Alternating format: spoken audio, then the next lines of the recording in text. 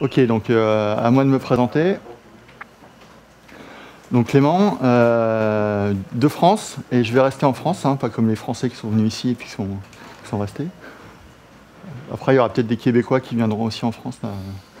On verra quand euh, la France grandira. Alors moi, je suis spécialisé en fait dans LDAP. Je suis pas vraiment généraliste, c'est-à-dire je sais, faire- seulement un truc, c'est euh, l'authentification, le LDAP, etc. Et donc je participe de manière communautaire à trois projets. Donc, le premier, c'est Lemon LDAP NG, donc on va en parler euh, ce midi. Euh, LDAP Synchronization Connector, c'est un petit truc en Java qui permet de faire de la synchro. On l'utilise pour faire de la synchro entre OpenLDAP et Active Directory ou pour importer les utilisateurs d'une base de données dans un LDAP, etc. Et on déploie ça chez nos clients pour, bah, pour que, en fait, quand ils créent un utilisateur dans leur système RH, par exemple, le compte soit créé dans leur LDAP pour automatiser un certain nombre de choses. Voilà. Donc c'est plutôt des connecteurs. Euh, et puis euh, LTB, donc LTB c'est pour LDAP Toolbox. Euh, c'est tout un tas de petits outils en fait autour des annuaires LDAP. Notamment, on refait des builds Red Hat et Debian en fait d'OpenLDAP en prenant la dernière version d'OpenLDAP communautaire. Il y a un petit outil de changement de mot de passe en PHP, enfin des, petits scripts en fait qui aident plutôt les admins LDAP à, améliorer, faciliter les backups d'annuaires, les restores, etc. Voilà. Donc ça, c'est les projets sur lesquels je travaille. Donc tout est évidemment euh, open source. euh, je fais du libre. euh. Bon, on va parler donc un peu de manière théorique d'authentification et de, SSO hein, pour replacer, replacer ça. Après, moi, je vais vous présenter le logiciel Lemon LDAP-NG sur lequel je travaille. Et puis, on va parler aussi des protocoles CAS, SAML et OpenID Connect. Alors, CAS, je sais qu'il y en a certains qui ont, qui ont déjà entendu parler de CAS parce que c'est déjà intervenu dans certains projets. Je ne sais pas si SAML et OpenID Connect, c'est des termes que vous avez déjà rencontrés. Moi, je vais essayer d'expliquer un petit peu euh, ce que c'est. euh, et puis, euh, puis voir comment ça, marche dans les LDAP. Et puis pour, terminer, parler un petit peu des concurrents qui existent au produit pour que vous puissiez replacer le produit par rapport à d'autres choses que vous connaissez peut-être déjà. Là, on va parler un tout petit peu d'OpenAM, on pourra échanger là-dessus. Et puis parler, euh, parce que maintenant que je suis là, en fait, je vais faire du lobbying pour qu'on l'utilise chez Savoir Linux, à la fois en interne et puis chez nos clients si on peut. Alors, l'authentification et le SSO. Donc, l'authentification, globalement, c'est ça permet à un utilisateur de prouver son identité. C'est un tout petit peu différent de la notion d'identification qui, sert simplement à dire euh, à un service qui est l'utilisateur. Mais il n'y a pas de notion de, preuve en fait dans l'identification. Quand on parle d'authentification, il y a cette notion un peu plus de sécurité qui est euh, comment est-ce que je donne la preuve de qui je suis? Alors, Aujourd'hui, l'authentification, globalement, c'est un mot de passe. hein. Euh, Donner la preuve de qui on est, c'est souvent un mot de passe. Mais on sait très bien qu'il y a plein d'autres technos, euh, de certificats, euh, de biométrie. euh, voilà, il y a plein de choses qui existent. Et là, le- les mécanismes d'authentification euh, dans l'informatique euh, évoluent sans cesse. euh. Souvent, on relie l'authentification à, à la, notion d'information sur l'utilisateur. D'accord? Quand vous faites de l'authentification sur un service, vous vous attendez à récupérer au moins le nom, prénom, le mail de l'utilisateur. D'accord? C'est pas obligatoire dans la notion d'authentification, mais c'est souvent en fait, euh, c'est souvent lié. Typiquement, euh, quand on fait des annuaires LDAP, on fait de l'authentification. On ne parle pas de SSO dans l'annuaire LDAP. Vous branchez en fait votre application, par exemple votre Keystone sur Active Directory, puisque Emen est en train de faire ça en ce moment. Bah, quand vous branchez en fait votre service sur un LDAP ou un Active Directory, déjà ça vous permet de- d'envoyer le login mot de passe et qu'on vous dise bah oui c'est le bon mot de passe. Et puis derrière on vous dit bah l'utilisateur il s'appelle comme ça, il a tel mail, etc. Voilà. Ça c'est le service d'authentification. Donc ça il suffit de mettre un annuaire LDAP en place, comme ce qu'on a là en fait dans à SFL. Zimbra son LDAP, euh, il fait de l'authentification avec. Alors le SSO, donc vous êtes tous anglophones euh, au Québec, donc ça veut dire single sign-on. Si on le traduit, parce qu'on aime bien quand même aussi au Québec euh, avoir des mots français pour les mots anglais, normalement c'est authentification unique.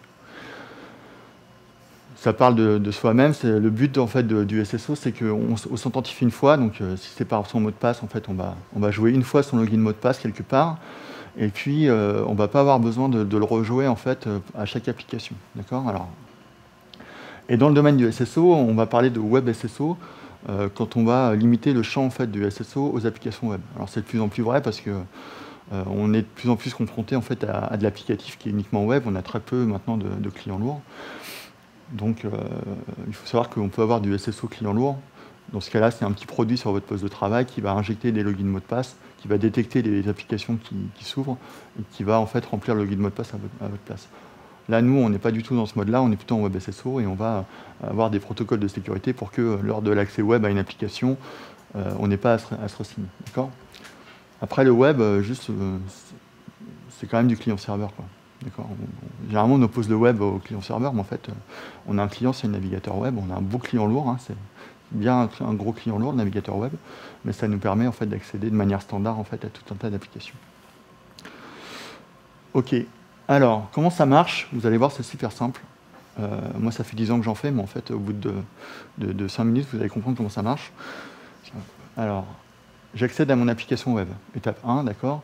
Je ne suis pas authentifié, donc ce qui va se passer dans le SSO, c'est que d'une façon ou d'une autre, on va vous rediriger vers un portail d'authentification. D'accord? Que ce soit euh, Keystone, un serveur CAS ou ce que vous voulez, vous allez être redirigé. Vous n'allez pas avoir en fait de mire d'authentification de côté de votre application.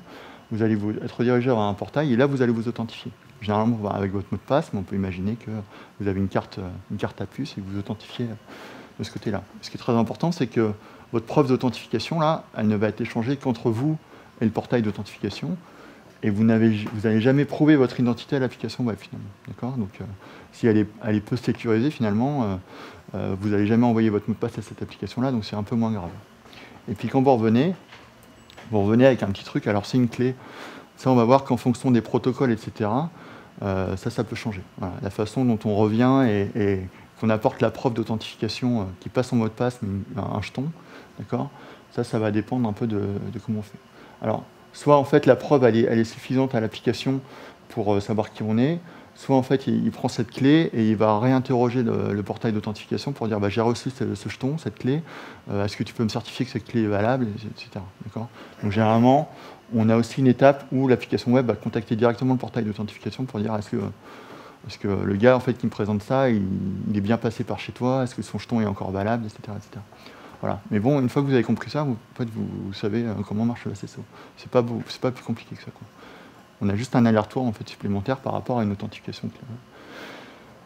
Après, une fois que vous êtes là et que l'application web vous, a authentifié, d'accord, avec, cette, clé, bah, le reste, euh, il vous crée une session applicative, d'accord. Dans un Java, vous allez avoir un JSession ID, en PHP, vous allez avoir un, PHP Session ID, d'accord.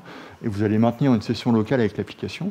La seule chose qui a changé, c'est qu'au lieu d'envoyer votre login mot de passe à cet endroit-là, vous l'avez envoyé de l'autre côté, d'accord Et vous avez récupéré un jeton.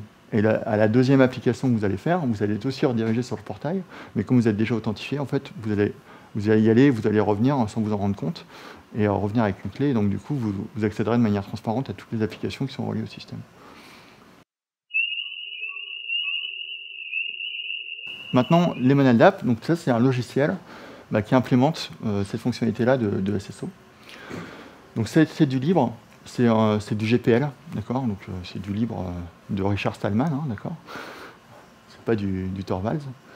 C'est pas de la licence Apache, hein, c'est vraiment de la, GPL. Euh, c'est écrit en Perl, mais bon, c'est pas très grave parce que finalement, ça s'installe et puis on ne sait pas que c'est du Perl. ça a 10 ans, ça a un peu plus de 10 ans, donc c'est né dans l'administration française. C'est clairement pas très connu en fait de ce côté-là de l'Atlantique, même si euh, on en trouve certaines installations aux États-Unis ou, même au, Canada. Il y a le ministère de la Culture en fait, euh, qui, utilise les monnaies par exemple. Si vous allez sur le, site du ministère de la Culture et que vous vous loguez, vous, verrez une page d'authentification euh, de Donc il y, a, quand même des gens ici qui connaissent. mais globalement, c'est très franco-français. Voilà. Ça a été créé dans les administrations, donc la plupart des administrations françaises, des gros ministères, utilisent ce produit-là. ça a été créé au ministère des Finances et ça a été repris par la Gendarmerie nationale. C'est pour ça que le NG, en fait, ça veut dire nouvelle génération, mais ça veut dire gendarmerie nationale aussi. Ça marche dans les deux sens. Donc c'est les gendarmes qui ont commencé ça, et puis, euh, puis bah, moi je suis rentré dans le dispositif, et puis je suis le, maintenant en fait euh, principal du, projet maintenant euh, sur, sur, les Manada. Au départ, vous allez voir, en fait, on ne faisait que d'envoyer des entêtes aux applications, et puis au fur et à mesure, on a implémenté des protocoles qui sont standards, donc CAS, OpenID et donc je vais vous expliquer un peu ce que c'est. Ça, c'est des, des, protocoles où vous pouvez trouver les, les RFC en fait sur Internet et nous on implémente, euh, on implémente ces protocoles. La dernière version elle est sortie en mai euh, et puis là on est en train de faire un gros développement euh, sur une version 2.0 qu'on devait sortir il y a deux mois mais qu'on sortira pas. Enfin comme Debian en fait on va attendre que ce soit prêt. Et puis comme je suis en train de savoir faire Linux, j'ai plein de trucs à faire donc j'ai plus le temps. Non c'est pas vrai. En plus j'ai continué à contribuer là pendant que depuis que je suis arrivé à savoir faire Linux Et on va essayer de la sortir cette année, cette nouvelle version. Voilà, alors il y a, trois modules dans les modèles d'app. Le plus important est la partie visible, c'est ce qu'on appelle le portail. Bah, le portail d'authentification, on a vu, c'est là où vous rentrez votre login mot de passe, d'accord? Ça, c'est la fonction principale, c'est de, vous présenter une interface pour que vous puissiez vous authentifier. Euh, il y a d'autres choses euh, qui, sont euh, fournies avec les modèles d'app. En fait, quand on est logué, comme le, le WebSSO nous donne accès en fait, à des applications, bah, ça nous présente aussi une liste des applications. Voilà. Euh, ça permet aussi de réinitialiser son mot de passe et on a même créé dernièrement un petit, module qui permet de, se créer un compte si on n'a pas de compte. D'accord? Donc ça c'est plutôt pour des trucs publics. Euh, vous voyez en fait tous les sites ils ont implémenté en fait les mêmes fonctionnalités qui sont euh, loguez-vous, vous avez perdu votre mot de passe ou vous n'avez pas encore de compte, créez votre compte. D'accord? Donc tout le monde refait ça. Donc nous on l'a fait de manière standard et du coup on peut très bien utiliser ça pour, pour créer ses comptes. Le handler en fait c'est l'agent alors, principalement Apache, euh, on en a un qui marche sur euh, Nginx, mais on est plutôt dans un environnement Apache. Donc ça, en fait, cet agent-là, il va recevoir les requêtes, il va protéger les applications, et quand la requête va arriver, il va vérifier que vous êtes authentifié, il va, il va dialoguer, et une fois que vous êtes authentifié et autorisé, il va accéder à l'application. Oui, Jérôme Est-ce que c'est un module pour le serveur? C'est un module, alors on est à l'intérieur de mode Perl, donc il y a un module standard d'Apache, donc il n'y a rien, enfin, vous installez mode Perl, mais qui est, fourni dans toutes les distributions euh, standards. Et donc c'est mode Perl qui fait appel au code Perl qui va faire la vérification. Donc euh, c'est très élégant en termes de configuration Apache parce qu'en fait vous avez votre euh, hôte virtuel Apache et à l'intérieur vous dites ben, pour accéder à ça je fais un, une commande Perl handler et j'accède en fait, j'appelle le module en fait de vérification. Donc vous rajoutez simplement une ligne en fait dans votre conf Apache et vous avez activé la protection en fait de, de l'hôte virtuel c'est pas des grosses confs un peu, tordues euh, qui sont là-dedans. Donc voilà pour cet agent. On verra que l'agent, en fait, il sert simplement quand vous faites, du contrôle d'accès de la protection de l'application, mais que quand on va faire du CAS ou du SAML, voilà, du coup, on n'a plus d'agent, d'accord? On passe par des protocoles standards. Ce n'est pas un agent qui gère le truc, c'est le portail directeur. Le dernier, c'est le manager, c'est l'interface d'admin. Alors, on peut configurer à la main, en fait, euh, il y a des fichiers de conf. Euh, le, on était sur un fichier plat, on, l'a converti en JSON en fait. Donc maintenant, en fait, vous pouvez écrire votre configuration en JSON. Si vous aimez bien écrire du JSON à la main, le faire. Sinon, on a quand même une interface d'admin en fait euh, qui permet de faire euh, de manière graphique euh, la configuration. Voilà, alors le gros schéma, comment ça marche?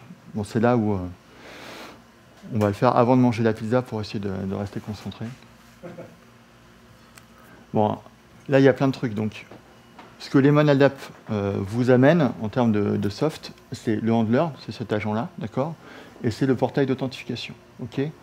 Tout le reste, en fait, c'est des choses qui ne sont pas livrées avec les Monadap. Donc, ce qu'on voit tout au bout, en fait, c'est là où sont stockés vos, utilisateurs. Donc, euh, typiquement un URL d'app, un Active Directory, une base de données, etc. D'accord? Donc ça, nous, on n'amène pas, d'accord, ça s'appelle les d'app, mais en fait, ça n'amène pas d'un URL d'app. C'est une sorte de faux ami, si vous voulez. Quoi. Le d'app, ça va être juste la couche euh, web et c'est tout. Donc vous êtes dans une organisation, s'ils n'ont pas de LDAP, vous allez installer un Open LDAP. S'ils ont déjà un LDAP, bah, vous n'installerez rien. Lemon LDAP va venir se greffer dessus. La base de session, en fait, on va, on va stocker les sessions euh, soit dans des fichiers plats, soit dans des bases de données, etc. On peut même les stocker les sessions dans un annuaire LDAP. c'est ce qui permet en fait, de faire du cluster en fait, assez facilement. Que euh, vous pouvez avoir un cluster SQL ou un cluster d'annuaire, et puis on va se servir de ça en fait, pour stocker les sessions et, répartir les sessions en fait, sur, sur vos clusters. L'application web, bah, c'est l'application que vous protégez. Et puis, euh, vos utilisateurs, c'est pareil, on ne vous les fournit pas. Hein, c'est vos utilisateurs, vous vous débrouillez avec. Bon, qu'est-ce qui se passe alors? Quand un utilisateur arrive, il va taper dans son navigateur ou cliquer sur un lien pour accéder à l'application web. Cette application web, elle est euh, dans un conteneur Apache donc dans lequel on a installé l'agent. Si votre application web n'est pas dans un conteneur Apache, on peut très bien fonctionner en, en mandataire inverse, donc en reverse proxy. Donc vous avez un, proxy euh, web devant et puis votre application web euh, sur un autre serveur. Et puis euh, en fait, c'est le proxy là, qui va faire les échanges entre votre agent et puis votre application web. Donc vous pouvez être soit, soit dans le même conteneur, soit en proxy. Peu importe, ça fonctionnera pareil. Donc à la première requête, en fait, l'utilisateur arrive, l'agent intercepte la, requête HTTP et, voit qu'il n'y a pas de, cookies, de, jetons SSO, donc vous n'êtes pas authentifié. Du coup, il vous envoie un redirect, il vous dit bah, authentifiez-vous sur le portail d'authentification. D'accord? Donc là, vous, soit vous envoyez votre certificat, soit vous jouez votre login mot de passe. Ces informations-là, elles sont vérifiées en fait au niveau de l'annuaire. Et puis déjà, on va vous dire si vous ou non en fait, euh, vous avez le bon mot de passe. Et si vous avez le bon mot de passe, on vous dit OK et on vous renvoie un certain nombre d'informations. Donc les App va euh, collecter, euh, vous allez dire bah, j'ai besoin de l'email, du nom, de la liste des groupes de l'utilisateur, un, certain nombre d'informations. Hop, il les connaît, il les collecte. Il ne les renvoie pas à l'utilisateur évidemment, il les garde en local, il les stocke en fait dans une session. Il dit bah voilà la session d'utilisateur, je vais rentrer toutes ces informations. En échange, j'obtiens la clé de la session, d'accord? C'est un session ID standard. Et ça, je vais le mettre dans un petit gâteau, un cookie. Et ce cookie, je le renvoie en fait à l'utilisateur. Ce qui fait que l'utilisateur, en fait, il va être redirigé vers l'application initiale. Cette fois-ci, le handler, il trouve, la, il trouve la clé. Il va interroger la base de session en disant bah, j'ai obtenu cette clé-là. Dis-moi en fait bah, cette section. Euh, est-ce que cette section elle existe bien? Et puis, euh, et puis renvoie-moi les informations de l'utilisateur qui correspondent. Une fois qu'il a ça, il va faire deux choses. Il va faire déjà un contrôle d'accès, c'est-à-dire qu'on peut donner des règles par défaut, on va dire bah, tous les gens qui sont authentifiés accèdent à l'application, mais on peut aller plus loin, on peut dire tiens, il veut accéder à slash admin, je vais mettre une règle pour dire que slash admin c'est réservé aux utilisateurs qui sont dans le groupe administrateur, par exemple. Et pour, il y en a qui aiment bien les, expressions régulières. Ouais, personne n'aime ça. Mais en fait, on fait que. Ouais, c'est super les expressions régulières. Et en fait, on fait tout par expression régulière. Donc vous pouvez très bien dire, bah, pour accéder à tous les fichiers euh, de type euh, étoile.php ou euh, par exemple, les étoiles.jpeg, en fait, je ne mets pas de protection parce que je n'ai pas envie de vérifier. Euh, les images, elles sont en accès libre.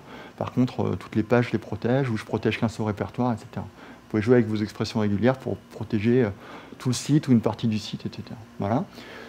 Ça, c'est les règles d'accès. Et ensuite, on va aussi utiliser ces infos-là pour envoyer des entêtes HTTP. D'accord? Généralement, on envoie le login et puis ça suffit. D'accord? Donc, on dit, bah, L'application, là, elle lit l'entête euh, login et puis elle, lit, elle voit dans le login euh, l'identifiant d'utilisateur. Vous pouvez très bien envoyer d'autres choses. Vous pouvez envoyer le mail, le nom, prénom, etc. On peut envoyer tout un tas de trucs. La liste des groupes, vous pouvez envoyer la liste des groupes par un entête HTTP. Après, il faut que votre application web qui soit là, ben, elle sache qu'elle trouvera la liste des groupes de l'utilisateur dans, un entête HTTP. Puis une fois qu'on a fait ça, ben, on est authentifié et puis on dialogue comme ça. Et à chaque requête, le handler va vérifier si votre session est, est bien active, etc. Alors évidemment, il ne va pas faire une requête SQL en fait à, chaque requête HTTP, parce que là, on va, on va écrouler les perfs, mais on a le système de cache, etc. et on vérifie. Oui Le transport entre l'utilisateur et la gauche, est-ce que c'est du OAuth euh, ou c'est autre chose Alors, c'est juste une requête HTTP. Euh, ton cookie, il est dans, ton entête cookie, d'accord? C'est comme si tu t'authentifiais sur une application euh, web standard on crée une session côté serveur et on t'envoie l'identifiant de session euh, dans ton cookie. Donc là, en fait, c'est que du HTTP standard ici. L'application, là, en fait, on ne protège pas une API REST, par exemple, ici. Hein. On parle vraiment d'application web. Ça peut être de l'Angular JS, c'est du PHP, c'est du Odoo, c'est du Liferay, etc. D'accord on n'est pas, pas en fait dans une API REST où en fait on, protège en fait l'accès entre une application cliente qui n'est pas l'utilisateur final, qui n'est pas le navigateur, et l'accès à l'API. Ça, c'est vraiment un autre domaine, c'est euh, comment est-ce qu'on protège. Ça, le fait aussi Après, il y a d'autres mécanismes pour protéger les applications. Le, mécanisme par défaut des Monel utilise un cookie et se repose sur le magasin des cookies d'un navigateur web. Donc on est vraiment dans cet environnement-là. Après, il y, a, des subtilités pour euh, faire en sorte qu'on euh, échange un truc. mais c'est pas fait pour ça. C'est clairement pas l'utilisation euh, principale de, de. Mais on, peut faire de l'autorisation euh, par hôte, euh, des choses comme ça. C'est bon, ça va C'était le schéma le plus dur. Hein. Je l'ai mis un peu au début pour que. Mais, voilà. mais maintenant, maintenant, ça va être un peu plus facile. Quoique. Alors, authentification sur le portail. Ça, c'est pour dire que, en fait, on sait faire plein de choses. Ce qui est intéressant avec les c'est que quand vous arrivez chez un client, si vous déployez un live par exemple, ou un Odoo, bah, généralement, le client va vous dire bah, alors moi j'ai un Active Directory, alors moi, j'ai, le LDAP de IBM, ou euh, mes, utilisateurs sont dans une base de données Oracle, machin, patati patata. Et vous allez à chaque fois adapter votre applicatif pour qu'il sache s'authentifier sur le truc du client.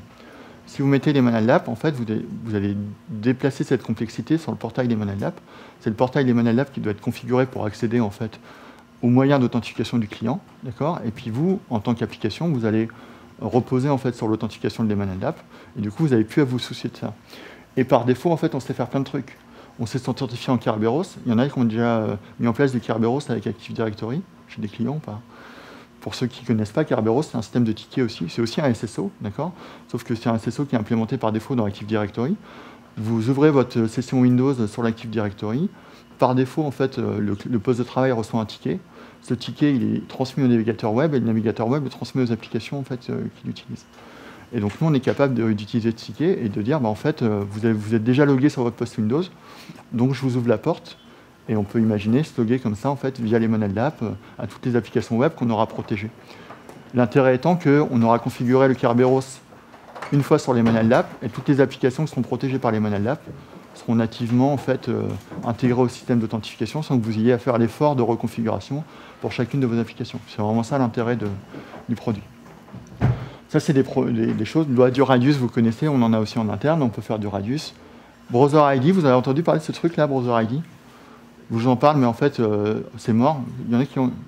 Non, Browser ID C'est Mozilla, en fait, qui avait lancé ça. Ça s'appelait Persona à un moment. Oui, Persona. Ah, ouais, ouais. Voilà, ils ont lancé ce truc, et en fait, il y a un an, c'est mort. Ils ont, ils, ont, ils ont arrêté, quoi, parce que. Problème.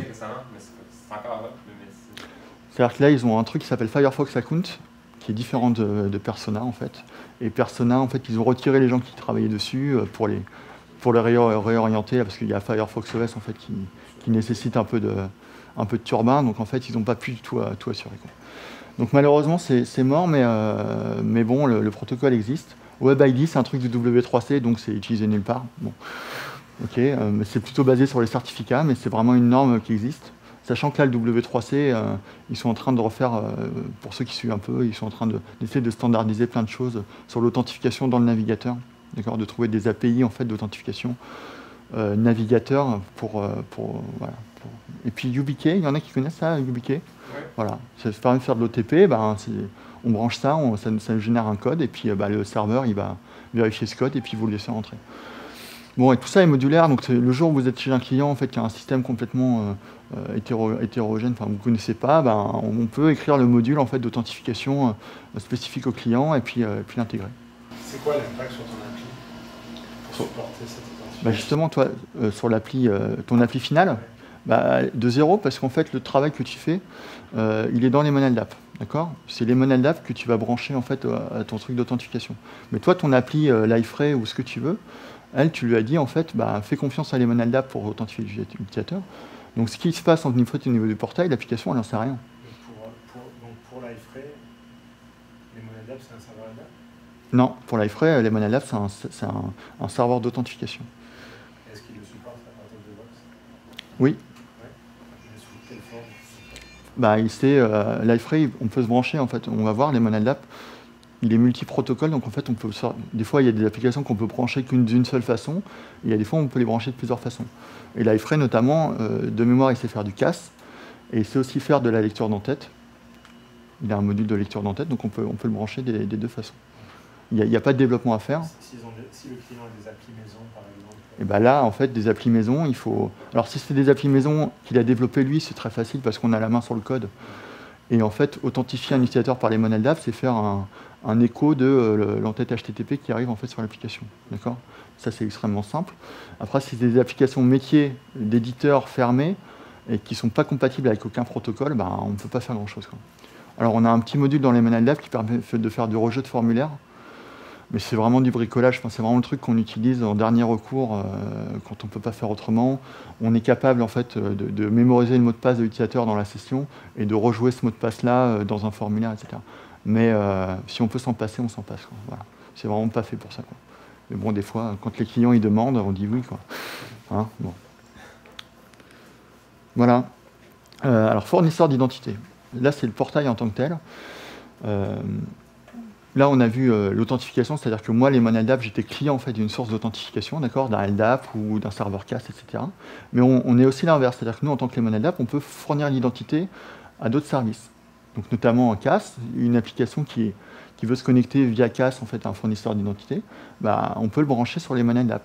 Et si c'est faire du SAML, on va, on va faire du SAML, ou du OpenID, OpenID Connect, on va faire du OpenID Connect. Voilà.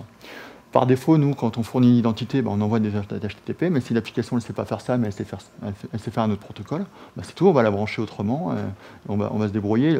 On a une sorte de, passerelle, euh, on va dire, multi-protocole, euh, contrairement à, au logiciel CAS en fait, qui va implémenter que CAS, bah, nous on essaie d'implémenter des choses, plusieurs choses. Ok. Bon, alors, CAS. CAS, ça veut dire Central Authentication Service. Ça porte bien son nom, euh, service d'authentification centrale. C'est un des plus anciens SSO en fait euh, qui existent. Euh, c'est développé par les universités américaines. c'est, je ne sais pas Berkeley, je ne sais plus laquelle c'est, mais enfin voilà. Quand on voit le, schéma, en fait, vous, si vous avez vu le, premier schéma que je vous ai montré, en fait, c'est la, même chose. Vous accédez à l'application, d'accord? Donc l'application, on dit qu'elle est cassifiée. c'est pas très joli comme mot, mais c'est comme ça qu'il s'appelle ça. Quand on arrive sur l'application, l'application qui est classifiée, elle a, quand même une petite bibliothèque, d'accord? Euh, qu'on a, qu'on a, on a fait un include d'une bibliothèque CAS client, d'accord, pour pouvoir gérer le protocole CAS. Cette bibliothèque client, elle va, vérifier que vous n'êtes pas authentifié. Si vous êtes authentifié, elle va vous rediriger en fait sur le serveur CAS, HTTP redirect euh, tout simple, en disant bah, je te redirige, je viens de tel service. Le serveur CAS il dit OK, je te, crée un ticket, donc c'est un token euh, obscur. Et là, quand, vous revenez, en fait, vous revenez en, donnant votre ticket à l'application. Donc c'est la librairie CAS qui reçoit le ticket. Et cette librairie CAS, elle va envoyer le ticket au serveur.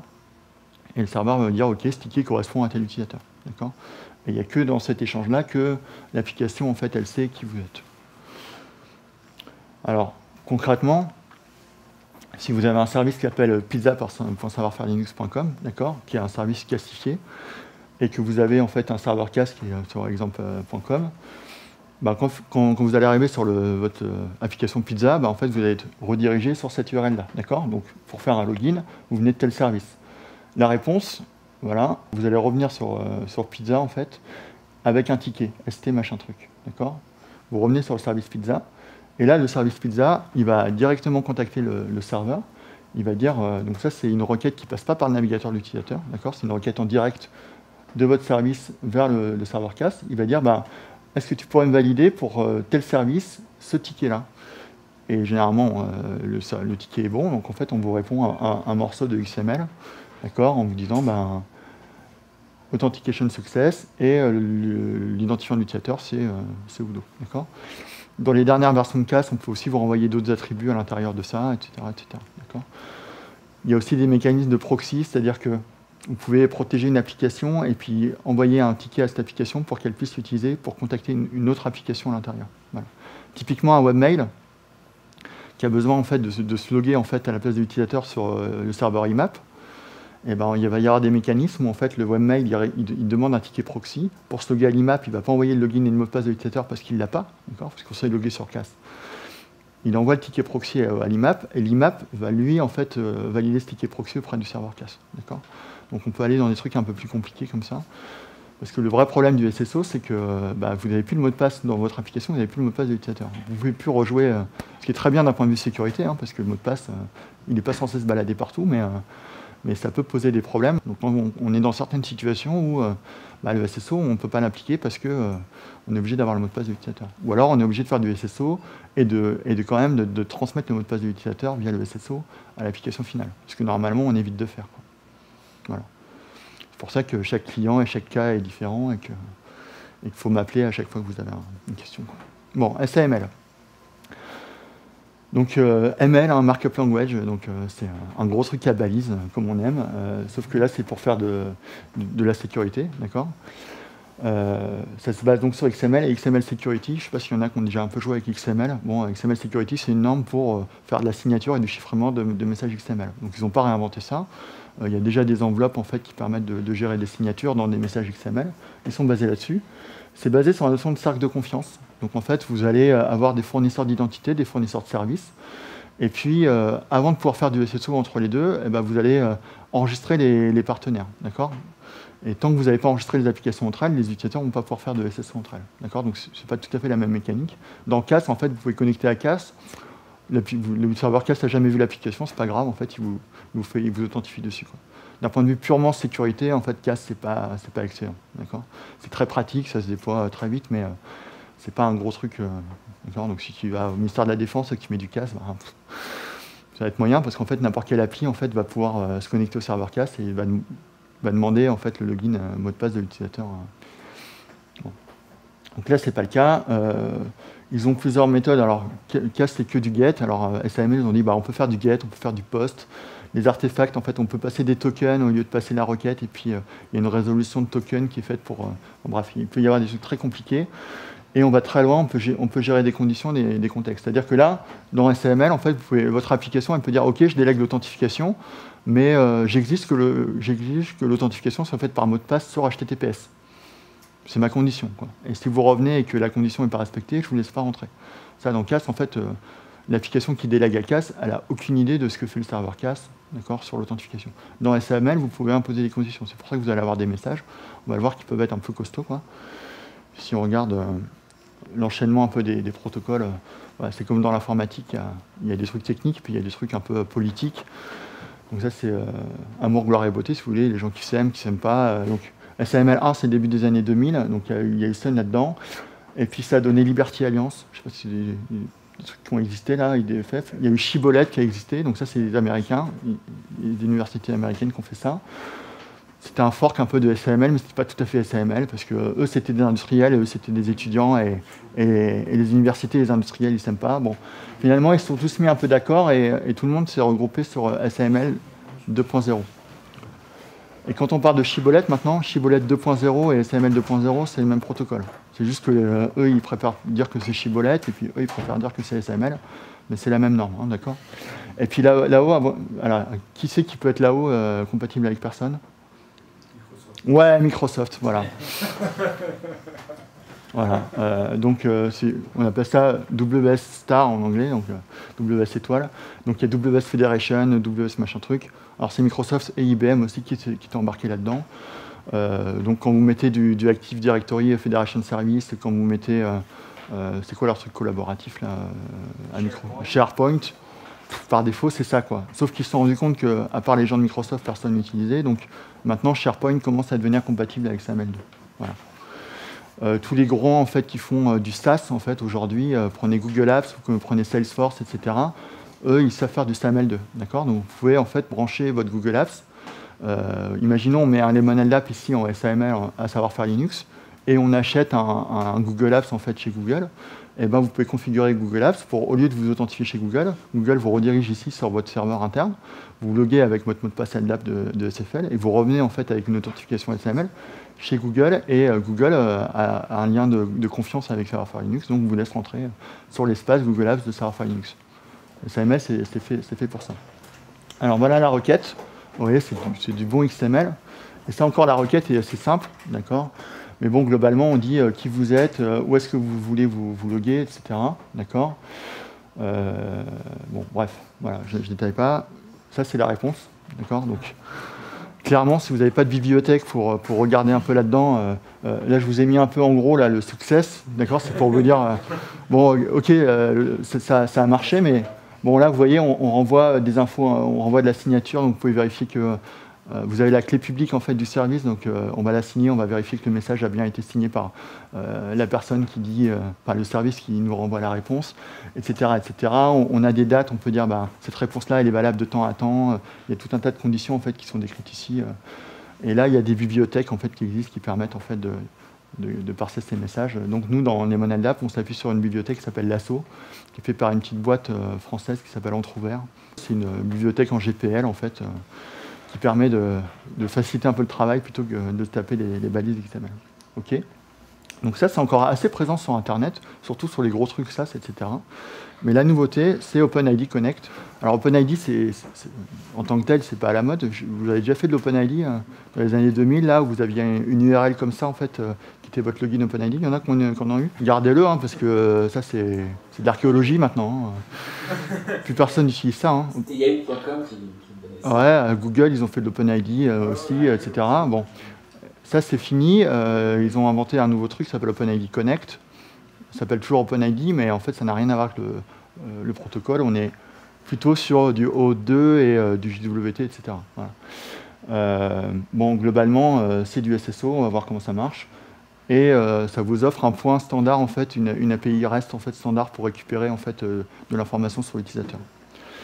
Bon, alors, ça c'était OpenID 1, d'accord, euh, pas sécurisé du tout. Donc ils ont fait OpenID 2 dans le milieu des, années 2000. Donc là, ils ont, ils ont mis un peu de, signature en fait dans les messages, etc. Voilà, et, euh, et voilà. Ah, c'est bon Bon, ça a clairement remplacé les autres. Euh, Google a arrêté le support d'OpenID 2.0 euh, il y a 6 mois. Là. Donc, si on veut faire de, l'authentification de Google, maintenant c'est OpenID Connect obligatoire. Et tous ceux qui avaient du OpenID sont en train de, fermer en fait, leur OpenID pour passer en fait, en OpenID Connect. Voilà. Ça s'appelle Connect parce que ça, ressemble à Facebook Connect ou tous ces trucs-là, où ils faisaient du OAuth en fait pour, pour s'authentifier. Ils en avaient marre que tout le monde fasse du OAuth, et puis chacun avait son protocole différent au-dessus de OAuth pour s'authentifier. Donc là, ils ont dit, bon, on va normaliser un protocole de, SSO au-dessus de OAuth, ça s'appelle OpenID Connect, et puis ceux qui veulent le standard, ils vont ils vont l'utiliser. Bon, globalement, euh, eh ben, vous faites une. Euh, donc RP, c'est le, relying party, c'est votre application, d'accord? Et le OP, c'est l'OpenID provider, donc c'est euh, là en fait où vous. Quoi.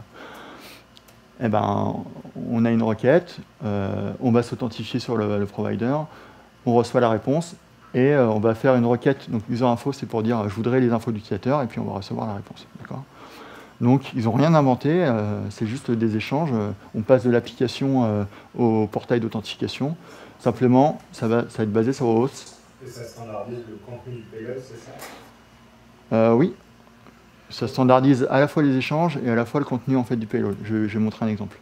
Alors, donc, c'est un protocole, donc il y a plein de trucs à implémenter en fait, si vous voulez être compatible.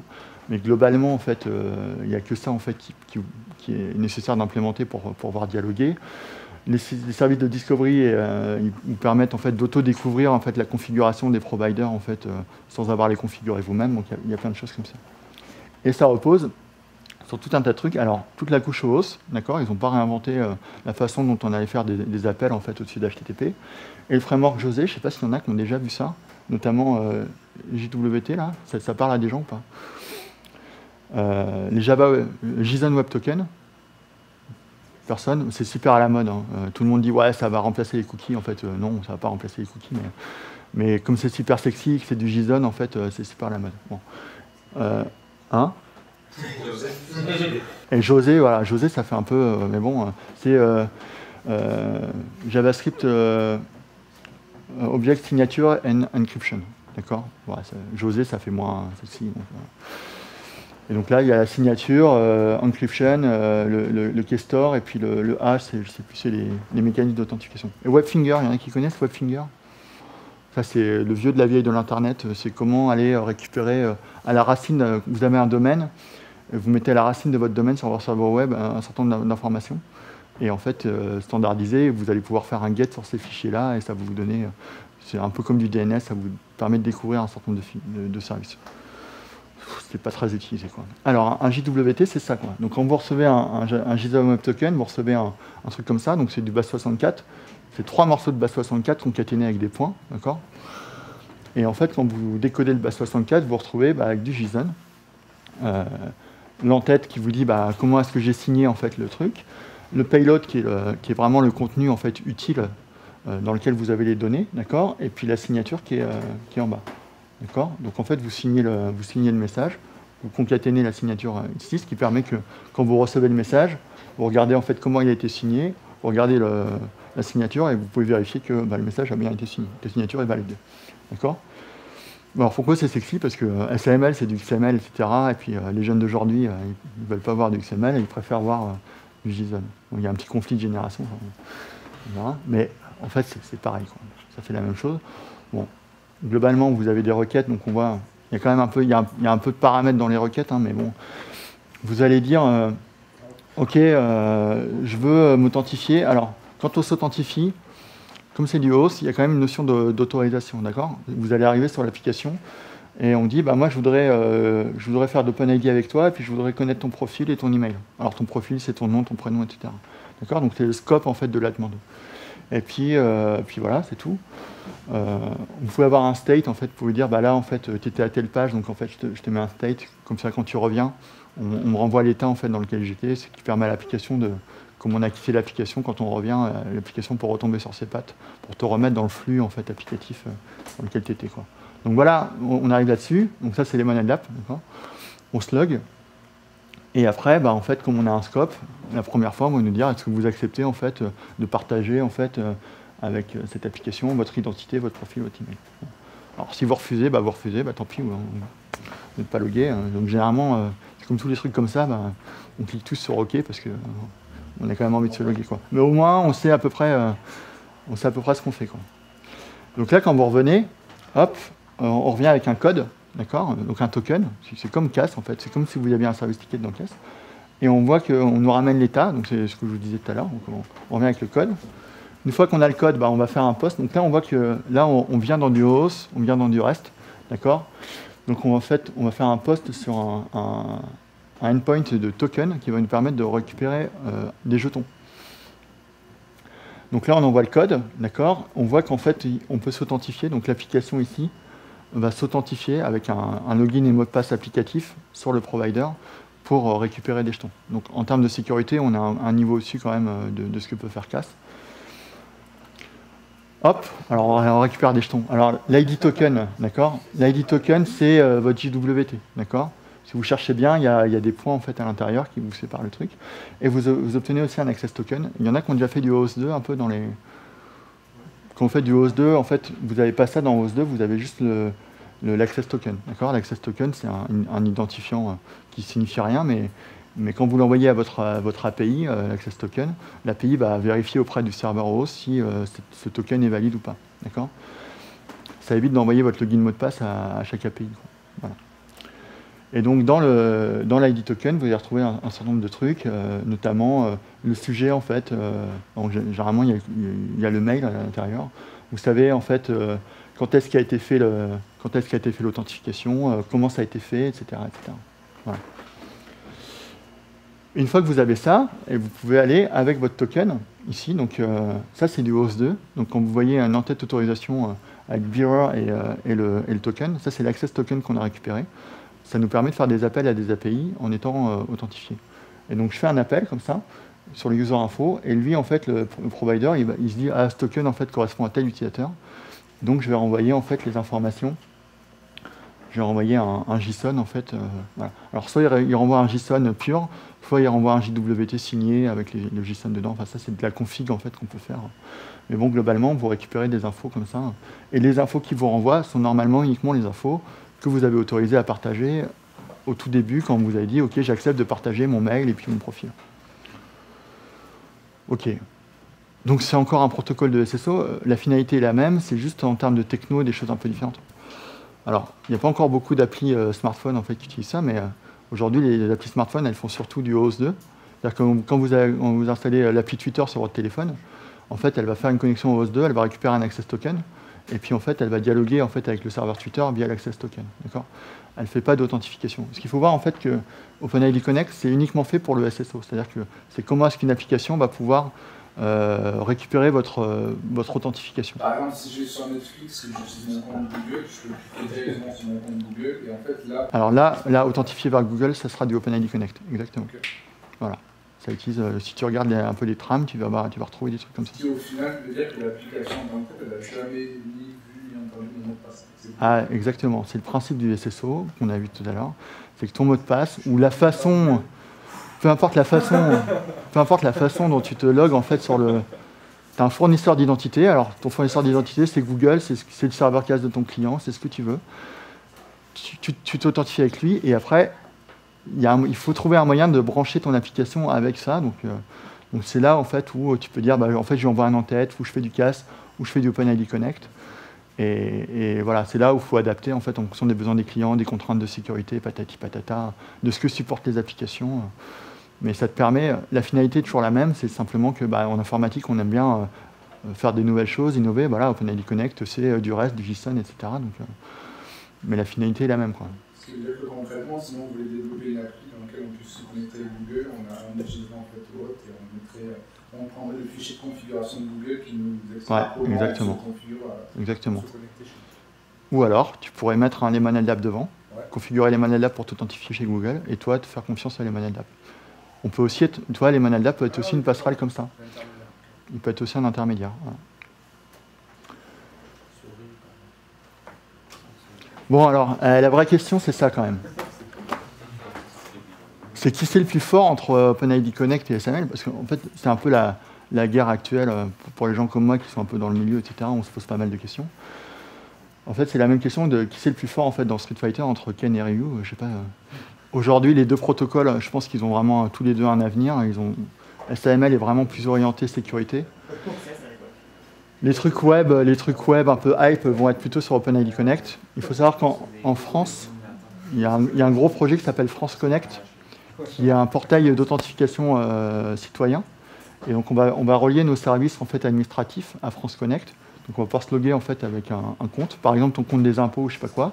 Tu vas pouvoir te loguer en fait sur la CAF ou sur n'importe quel service de l'administration publique au lieu d'avoir un compte pour chaque administration publique, pour ta mairie, euh, pour ton département, enfin bref. Bah, tout ça en fait va être fédéré au sein d'un système d'authentification. Et ils vont utiliser OpenID Connect en fait pour, pour faire ça. Donc c'est tout neuf, c'est pas encore sorti en prod en France, mais, mais voilà, eux ils ont misé sur ça. Et avant il y avait un truc qui s'appelait Mon Service Public en France, qui faisait du SAML. Donc là ils, ont, ils vont arrêter SAML, ils vont passer à OpenID Connect. Donc ça voilà, il faut rester un peu en observation. Mais bon, euh, aujourd'hui. L'argumentaire? Pourquoi ils sont passés du, de là? Alors, France Connect, je ne sais, je sais, pas quel est leur argument. Ce qui, ce qui est sûr, c'est que là-dedans, euh, il y a un truc en plus qui est le mode déconnecté. C'est-à-dire que dans SAML, en fait, tu es derrière ton navigateur. Pour, pour t'authentifier, tes applications, euh, si tu n'es pas derrière ton navigateur, euh, tu n'as plus de session active, donc en fait, tu ne travailles plus. Quoi. Dans OpenID Connect, tu peux demander un, un, refresh token, qui est un truc standard haute. Ce refresh token-là, il peut être conservé par l'application. Et puis toi, en fait, euh, tu peux aller te coucher. Et puis en fait, l'application, elle a besoin de, réutiliser ton identité. Elle va envoyer le refresh token pour obtenir un, truc. Euh. Ce qui veut dire que dis, SAML, on ne pourra pas l'utiliser via une application justement euh, mobile? Non, c'est clair que pour les applis mobiles, en fait, SAML. C'est-à-dire que quelque part, si tu fais une application en public, Maca, en fait, d'utiliser pouvoir connecter. Alors, ouais, SAML, en fait, ça sera forcément euh, globalement dans un navigateur. Donc tu peux le faire, en fait, mais si tu fais du HTML5 ou, ou un truc orienté navigateur, quoi. si tu fais de l'appli euh, un peu lourde, euh, enfin lourde ou native, aujourd'hui, OpenID Connect a été aussi pensé pour ça. C'est pour ça que c'est un peu plus récent. Ça prend en compte les, nouvelles problématiques qu'on peut avoir aujourd'hui. Ouais, exactement. Bah voilà, on est plus dans ce mode-là, REST, appel d'API, etc. Voilà.